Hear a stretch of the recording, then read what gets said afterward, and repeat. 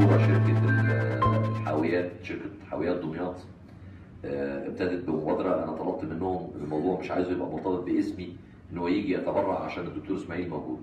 فيجي يتبرع عشان المحافظة. وعشان يتبرع أنا مش عايزه يتبرع كده زي ما هو عايز لا عايز يبقى فيه بروتوكول ملزم ليه سنويا بحيث لو أنا موجود أو أنا مش موجود يبقى الكلام ده شغال. فالحقيقة أنا بأحيي باسمكم جميعا آه، الشركة شركة دمياط للحاويات لأنها الحقيقة جبنا تصديق من مجلس الإدارة وبعدين بعد كده صعدنا الموضوع للجمعية العامة بمليون جنيه. فإن شاء الله خلال يوم أو اتنين يعني النهارده الحقيقة هم يعني عملنا إجراء والإجراء هيستكمل إن شاء الله هيجي لنا شيك يمكن أول يوم عمل بإذن الله.